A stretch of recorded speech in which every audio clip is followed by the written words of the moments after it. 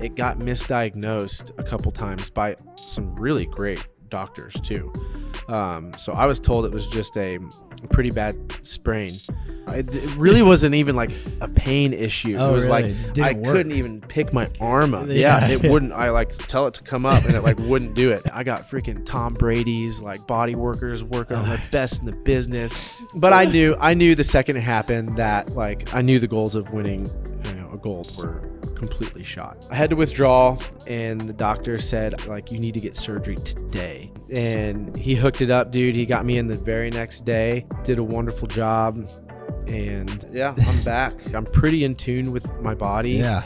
Um, my only thought that I have about it is um, I think I was dehydrated.